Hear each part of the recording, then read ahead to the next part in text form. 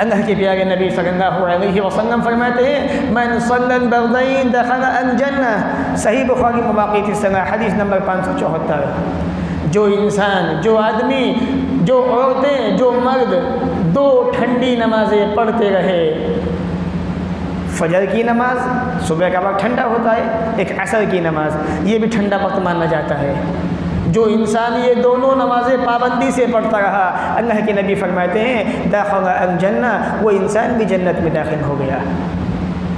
تو عصر کی نماز کی، فجر کی نماز کی خصوصی پابندی کیجیے یہ وقت انسانوں کے مشغولیت کے وقت ہوتے ہیں، انسانوں کے بزی ہونے کے وقت ہوتے ہیں۔ صبح کے وقت آدمی سویا ہوا ہوتا ہے، عصر کے وقت آدمی کاروبار میں بزی ہوتا ہے۔ ان وقتوں میں نماز کی پابندی پابندی سبھی کو کرنی ہے، پانچوں نمازوں کی۔ ان نمازوں کا مقام تھوڑا الگ ہے۔